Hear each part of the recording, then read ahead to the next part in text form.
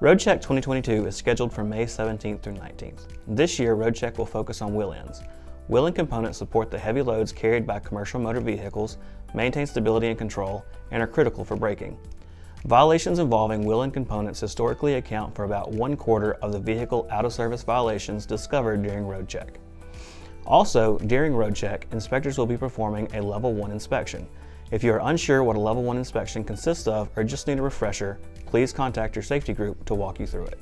During inspections of wheel ends on commercial motor vehicles, inspectors will check for cracks or unseated locking rings, studs, or clamps, check for bent, cracked, or broken rims on the inside and outside wheel rims, check for loose, broken, missing, or damaged wheel fasteners and elongated stud holes, check the hub for lubricant leaks, missing caps, or plugs, check the tire and valve stem for leaks, Check the inner wheel seal for leaks.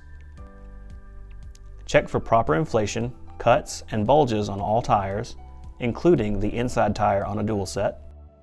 Check for debris between the tires. Check for tread wear and measure major tread groove depths.